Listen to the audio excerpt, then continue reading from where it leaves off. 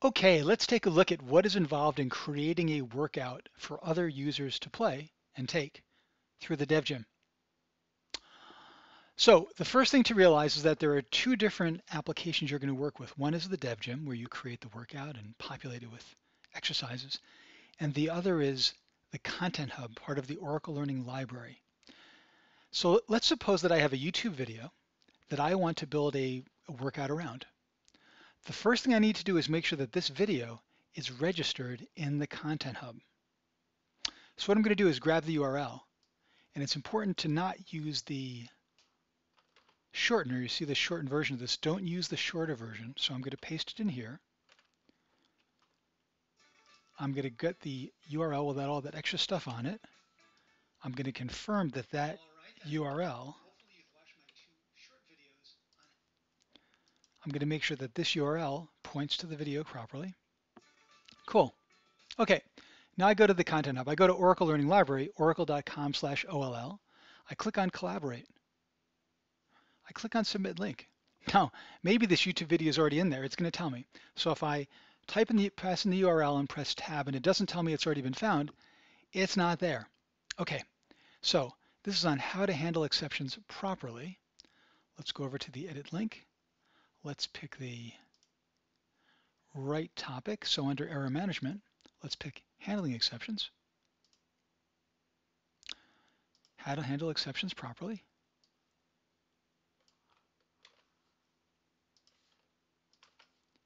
And it's part three, in fact.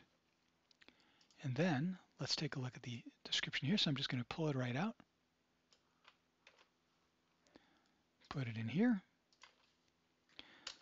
related blog post.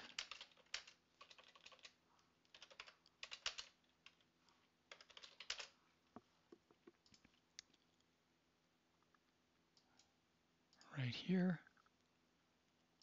So I'll grab that too. Put it in my description.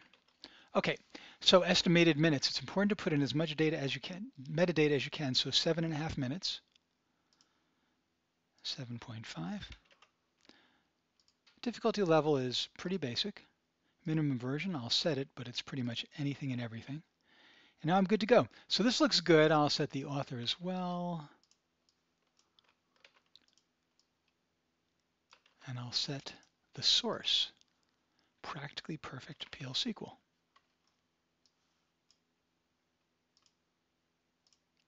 This will help people find all of this stuff later on and help me build out my workout too. So I'm going to approve it immediately since I'm the domain owner and I need to make sure that it's set as a video. Thank you. Save my changes. Okay, so I've registered the video in the Content Hub. Now it's time to build a workout around that video. So I'm going to go to Workouts, Create. Let's grab the name how to handle exceptions properly. Of course, you should put in a description too, but I'm not going to bother with that right now. Notice it's not available for use yet, approved for use, and also the starts on data set into the future. So nothing's going to be seen or used by users until you change both those values. Now let's go over to exercises. Actually, let's save our changes. go over to exercises. And at this point, I need to search out my video. Now, one thing you can do is, is select the source, like Practically Perfect PL SQL, just like I did when I inserted the value. But I can also simply say, well, let's look for how to handle. And lo and behold, there it is. So I click on it, and it's added to the workout. Now, next, there are a couple of things I can do. One is I can search for existing quizzes in the repository that might work. So if I go back up to my technology and drill down into handling exceptions. Populate the report. Get rid of that filter. So you can see I've got a number of quizzes already available that I might be able to use. And what I can do is drill down into these. I can say, well, let's take a look at quiz on continue past exceptions. So I can preview it. And it'll pop it up and I can look at it and think, well, does that look good? And if so, I click on it add it to my list, and so on. So at this point, I've got to work out with one video and one quiz. Now, if you don't have quizzes that you can use, you have to create your own. Let's take a look at doing that. I'm going to go into Submit Quiz. It's a very simple wizard for getting something in there to work with. So I'm going to say multiple choice, handling exceptions,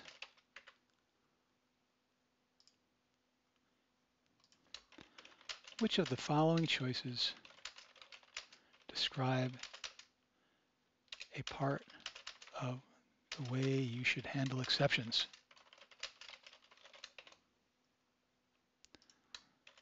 My answer here. Include an exception section. That would be good.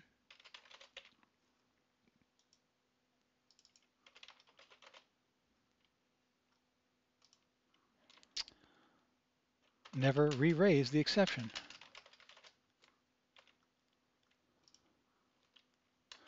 Return a status code. Okay, so I've got three different choices. Two of these are incorrect. Now I can click on submit and then my and my question will be submitted and I can go to my activity and then my quizzes, quizzes authored to search it out, or I can simply say submit and edit.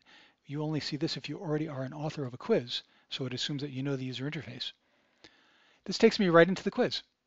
Now at this point I can finalize things and there's a lot that I can work on. As you can see this page is very busy with lots of things that you can do to make your quiz absolutely stunning and perfect. Since you're building quizzes for your workout, you may not feel like you have to go through the full review process, and they may be relatively simple quizzes. What you have to do is finish up. Specifically, when you create a new quiz through the Submit Quiz Wizard, it will not have set your minimum version and the lesson summary.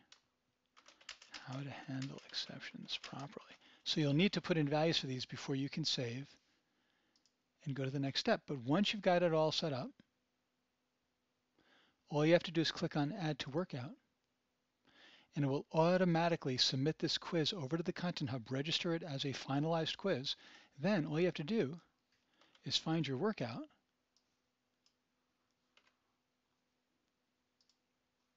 and add it. Now notice the Content Hub section has a Content Hub ID. It's now finalized, not draft.